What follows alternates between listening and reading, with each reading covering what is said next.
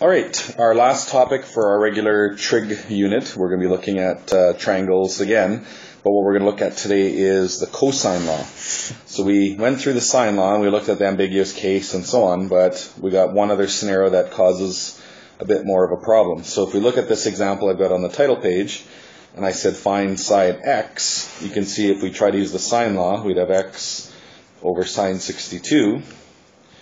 We've got two other sides. We could use the 12 or the 10, whichever.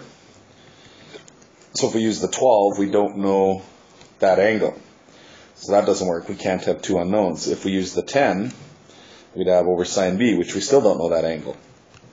So what happens is when you get into certain situations, there are cases where the sine law just doesn't work. We'll actually solve this one in a few minutes once we get to it.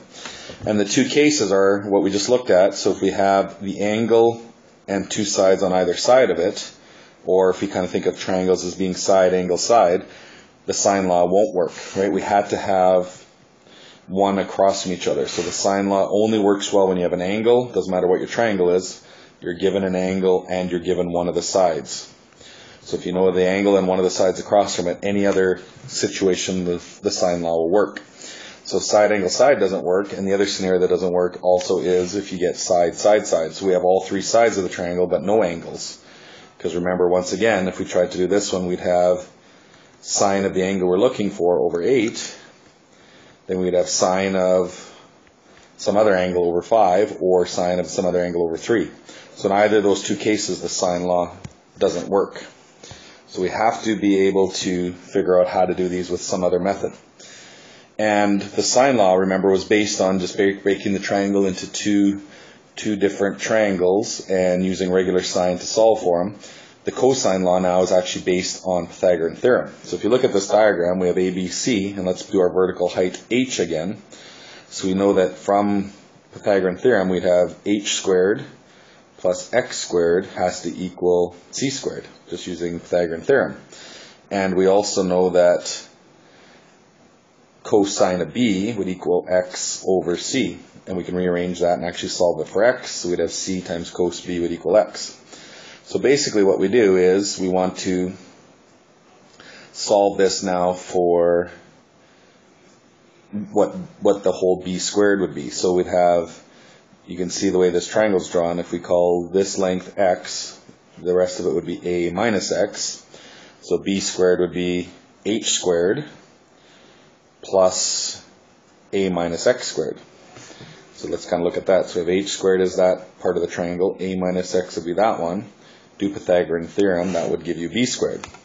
So we're basically just sort of taking this triangle, breaking it into two, and doing Pythagorean theorem twice. So now if we actually substitute for h squared, if we put in, um, actually if we FOIL out a minus x, you can see we get a squared, 2ax minus x squared. We simplify that, we get h squared plus x squared plus a squared. But we already know that h squared plus x squared is c squared, so we can actually change that to c squared. And we know that x is c times cos b, so we plug that in, and we end up with a formula that looks similar to Pythagorean theorem, but we get this extra little minus part added on. So what ends up happening, you're not going to need to know this process, but what ends up happening is we end up getting the Pythagorean theorem type formula for cosine law. So if we are looking for side C, it ends up working out to a squared plus b squared, which is regular Pythagorean theorem, but because it's not a 90 degree angle triangle, we actually have to subtract 2 times AB times cos C. So when we're dealing with cosine law, we actually get a couple different formulas. So when we're looking for a side, depending on which side we're looking for, we would get one of these three formulas. So which one would we use? Well, it depends on whatever side we're looking for. But what I'm going to advise is we just use stick with one. If we just stick with the c squared version, because then that looks like regular Pythagorean, and all you have to do is use this formula and relabel your triangle so that we're always looking for side C. The A and B doesn't matter what order you put them in, you just want to look for side C. So let's go back to our very first question here. So if we look at this one, we could actually use our cosine law formula. So let's try it. So if I clear everything off here, so our cosine law formula was c squared equals a squared plus b squared minus 2ab cos c. So, like I said, just make sure you label everything as side C that we're looking for. So let's call XC, so that would be angle C. If that one was B, that one would be B, this one would be A, this one's A. So now we can just plug our numbers into our formula. So we'd have C squared would equal A squared, which is 12 squared. B would be 10 squared. We'd have minus 2 times 12 times 10 times cosine of 62. And we would just type that in on our calculator, just like we do with Pythagorean theorem, square root our answer, and we're finished. Okay, so let's go to a different example.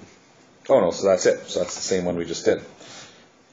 So this would be side C, this is B, this is A, so I'll just rewrite our formula. So we had A squared plus B squared minus 2AB cos C.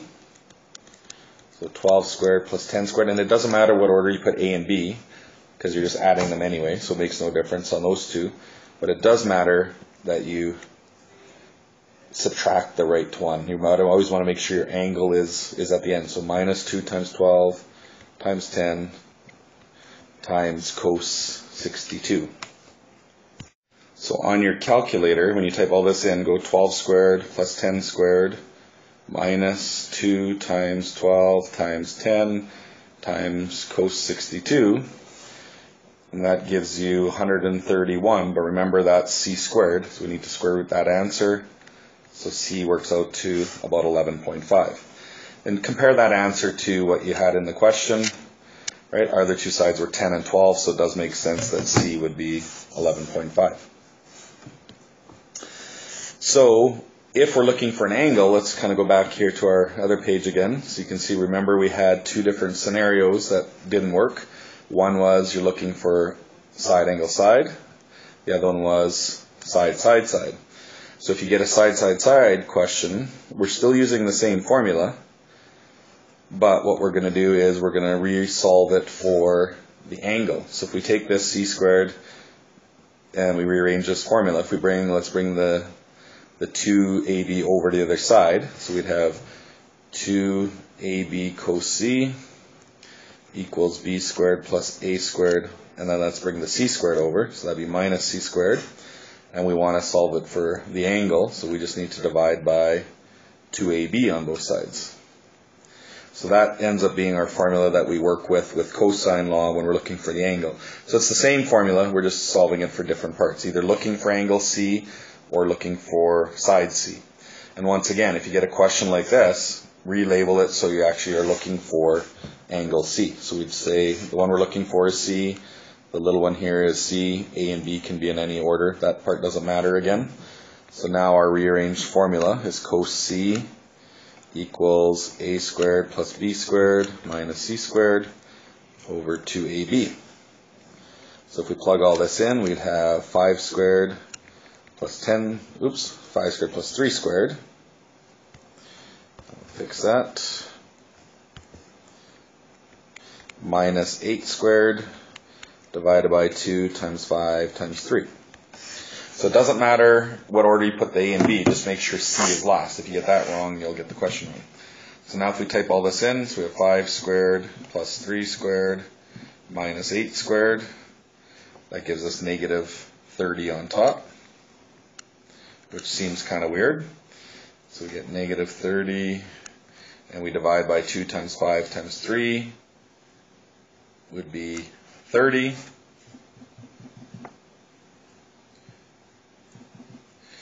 So we actually get cos C of negative 1, which is kind of weird. But let's try it. So if we go negative 1, shift cos,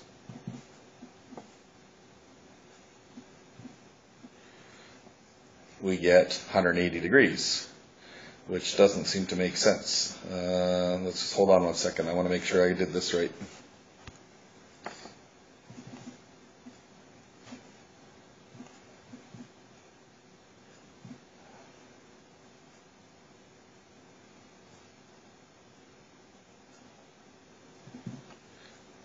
Okay, so it is actually right, but you, this actually ends up being a mistake for the question. If you look at our numbers, 5, 3, and that side is 8. It's impossible to draw this triangle. If I made this side to be length 8, and I have what other two sides as 5 and 3, it would be a straight line, right? Because 5 plus 3 is 8. So there's a typo with this question, so let's actually just change it quickly. Let's make side B 6, then it would actually work. So we put 6 in both of these, so we'd actually have 5 squared plus 6 squared minus 8 squared. So that gives us negative 3 on the top over 2 times 5 times 6.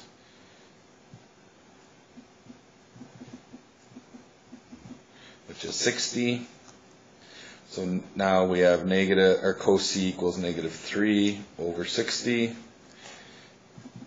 So if we do that, 3 divided by 60, second cos, that gives us an answer of 93 degrees, which is, is accurate. So, so it does work. You just got to be careful. This is just a weird case. I picked an example that it didn't work out, but just plug in your numbers, follow your formula, and it should work out.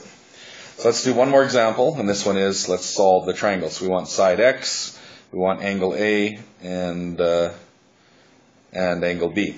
So now that we've sort of done every formula we ever need, we can basically pick whatever method we want. So I always typically look for sine law. So if you look at sine law, we need an angle and a side across from it. So we got 62 in x. That doesn't work. We got 10 in b. That doesn't work. We got a and 12. That doesn't work. So none of the opposite sides are given to us. So sine law isn't going to work.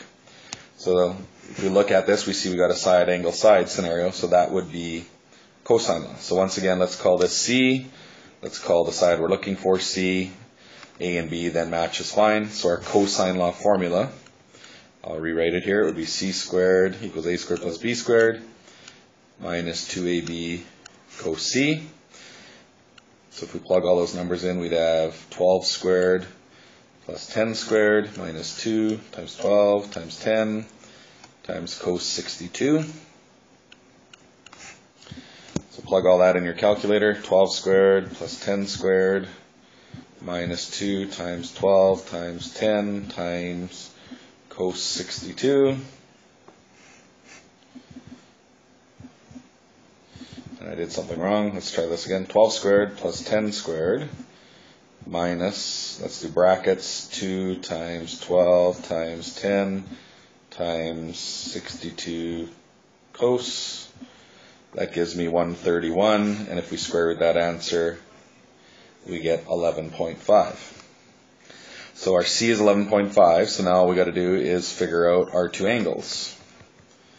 So now that we know that that side, we can actually use sine law. We don't need to use cosine law again. We could if we want, but we don't need to. We have all three sides. We can either use the cosine law, or most people find the sine law a little bit easier. So let's do that. So let's find A. So sine A over 12 will equal sine 62 over 11.5. So we can cross multiply those. 62 sine times 12 divided by 11.5. Shift sine, that gives us 67 degrees for A. And to get B, the easiest way to get B would just go 180 rule. So 180 minus 62 minus 67 gives us an answer of 51. So we've solved that triangle. So quite often with a lot of these, you're going to get, you're going to have to use the cosine law once.